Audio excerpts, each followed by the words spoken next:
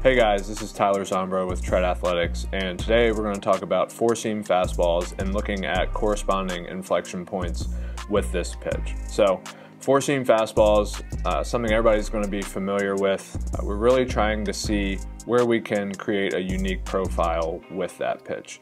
Um, as we touched on before in a description, looking at inflection points, we're looking at two very important variables, which is WOBA and whiff rate. Uh, and you can see here as we stabilize on that average line of zero, we want to see this blue line of WOBA get below average and we want to see this red line of whiff rate get above average.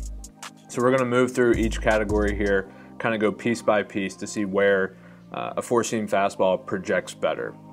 So first looking at velocity, uh, I think this one's pretty straightforward, right? So less reaction time for the hitter, the better. This is pretty much across every pitch, but looking at four seams specifically at the major league level, you can see once you clip around 94 miles an hour, you're getting a pretty solid return here.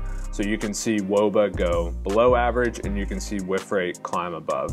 Uh, you actually see at 100 miles an hour, the whiff rate starts to go down a little bit not drastic, but this also is likely somebody who throws a high majority share of fastballs. Looking at vertical break, so carry is something super prevalent in the game today, as we've touched on before in prior videos, and you can really see a lot of that those data points come to light here. So once somebody is getting above 16 inches of vertical break on their fastball, whiff rate is above average and WOBA really starts to fall. And that's kind of why we've seen carry be so popular in the game. Uh, we know it leads to more whiffs, which for a fastball in general is abnormal to generate whiffs. That's why we utilize a little more off speed. But in order to get that with your four seam fastball, usually having vertical break is going to be necessary. Looking at horizontal break, you can see this is really just kind of a break even point. So all across the board here with both WOBA and whiff rate, we're kind of just stabilizing right on the zero line. So it's really not a huge point of emphasis for us uh, because we're not going to get a huge return. We're always looking at these things in terms of giving some to get some, and we're not really willing to sacrifice any attribute of a guy's pitch characteristics for horizontal break because, again, looking at the data here, there really is no immediate benefit with the horizontal movement.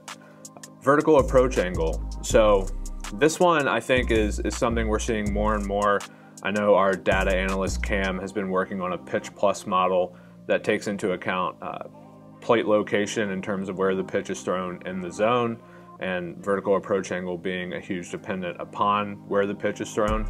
Uh, you can see here, the flatter that vertical approach angle is, uh, whiff rates go through the roof, right? And that makes sense, throwing four seam fastballs up can be very beneficial, but I think this also highlights the point of even if you don't have extreme vertical break, if you're throwing the four seam fastball in really good spots, you still have a high probability of success. Um, again, you can see the WOBA get below the average line there, and then of course you see this huge spike in whiff rate as well.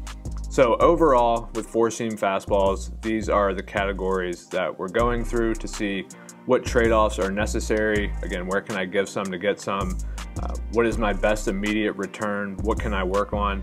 Uh, and that is how these things play out with four seam fastballs.